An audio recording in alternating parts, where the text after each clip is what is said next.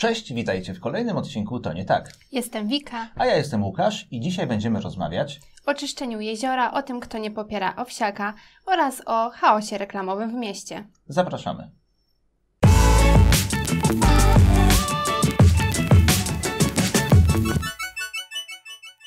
Jezioro Żywieckie, Zalew Żywiecki, który powstał w 1966 roku, mógłby być naszą lokalną atrakcją turystyczną, a jest jednym wielkim śmietnikiem. Okazuje się, że tylko od strony Oczkowa zebrano ostatnio 150 worków śmieci, które były wypełnione po brzegi. Oprócz tego były też śmieci, które luzem zbierano do kontenerów. Zebrano opony, krzesła, butelki, plastiki, puste opakowania po farbie i mnóstwo różnego dziadostwa, które absolutnie nie powinno się tam znaleźć. Były także nawet stare okna, a sam burmistrz powiedział, że jeżeli by się uprzeć, można by było urządzić cały dom. Co o tym myślisz? No ja jednak jestem za tym, żeby tak nie urządzać e, własnego domu. Zastanawia mnie to, co jest powodem tego, e, dlaczego tak się dzieje.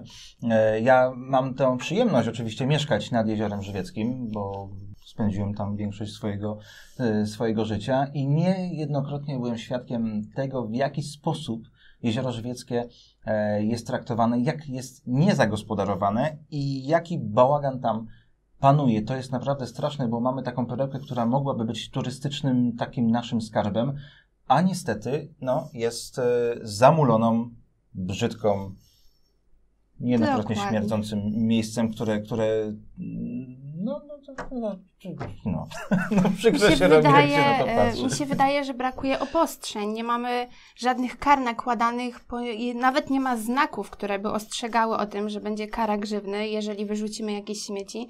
A może też bierze się to z tego, że mamy tak drogie już e, opłaty za wywóz śmieci, że ludzie sobie w ten sposób radzą. Może nie mają gdzie śmieci wyrzucać i stwierdzają, że jeżeli tam ich nikt nie nakryje, no to zrobią to w ten sposób. No wiesz to Wika, opłaty opłatami. Zmiana y, o podwyższeniu opłat weszła nam od tego roku 2020, a te krzesła i opony pływały tam już, wiesz mi, dużo wcześniej. I jest to problem nie od tego roku, a już od y, kilkudziesięciu lat. Y, jezioro jest źle zagospodarowane. Mm, nie ma tam turyści, którzy odwiedzają nasz region, którzy powinni korzystać, inwestować, zostawiać mhm. pieniądze e, w takim miejscu, mm, no nie mają gdzie nawet leżaka rozłożyć, bo jest to tak niewykorzystany e, teren. Tak, jezioro mogłoby wyglądać tak naprawdę jak na przykład Solina, prawda, w Bieszczadach. E, ma naprawdę duży potencjał, ponieważ mamy góry w koło, pięknie jest położone. Bardzo Fajnie by sytuacja było... jak, tak, jak u nas. Tak.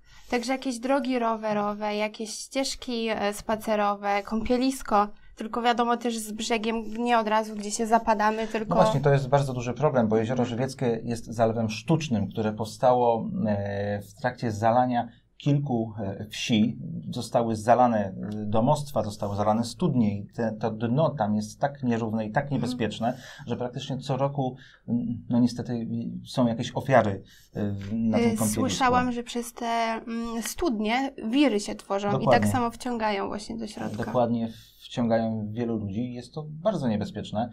Mm, zanim tam ktokolwiek powinien zostać dopuszczony do kąpania, powinno zostać to całe dno wyrównane.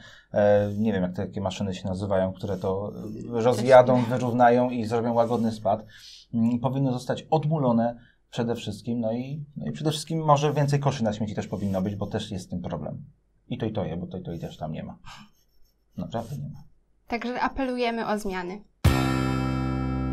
Nie każdy popiera Jurka Owsiaka.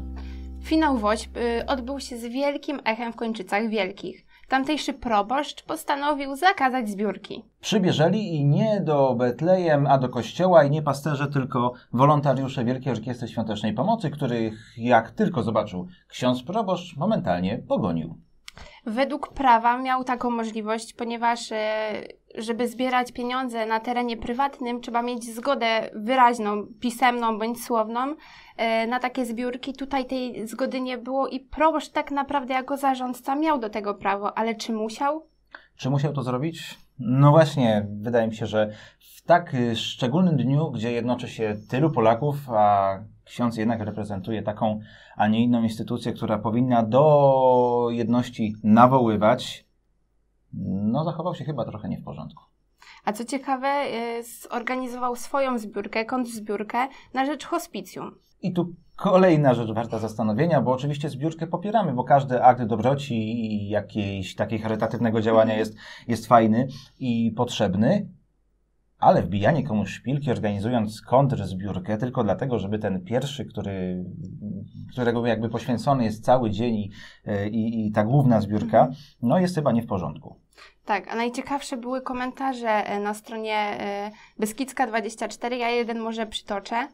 E, tutaj jedna z pań napisała: Moim zdaniem Kościół to nie zbiórka pieniędzy, bo to jest święte miejsce, a fundacja nie jest święta. No, nikt z nas chyba święty nie jest. A szczególnie ksiądz z wielkich. Chaos reklamowy w Bielsku Białej. Od pięciu lat władze miasta mają możliwość pozbycia się szpecących i brzydkich reklam w mieście, a jednak tego nie robią. Nachalne reklamy zajmują prawie całą wolną przestrzeń, szpecą nam ulice, place, czasami są stawiane nielegalnie. Tylko Cieszyn w naszym regionie skorzystał z możliwości wprowadzenia ustawy krajobrazowej. Niestety Bielsko-Biała dalej od pięciu lat nic z tym nie zrobiła. E, narzędzie do walki z nachalnymi reklamami samorządy otrzymały już w 2015 roku. Jestem ciekaw, dlaczego mm, władze miasta Bielska nie chcą tej ustawy wdrożyć. W tym momencie widziałam, że jest w przygotowaniu graficzne opracowanie dokumentu, także to już jest chyba na dobrej drodze. No ale minęły już 4 lata, teraz mamy piąty, także troszeczkę to trwa. Graficzne przygotowanie dokumentu kojarzy mi się tylko z reklamą i z opakowaniem. No zastanawia mnie treść jeszcze i wnętrze tego, co tam dla nas przygotują.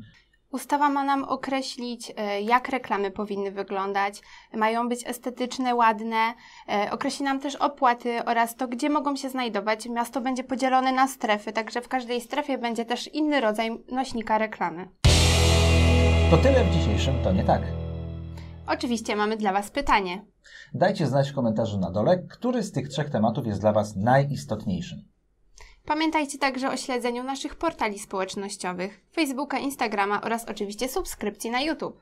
Trzymajcie się i do zobaczenia. Cześć!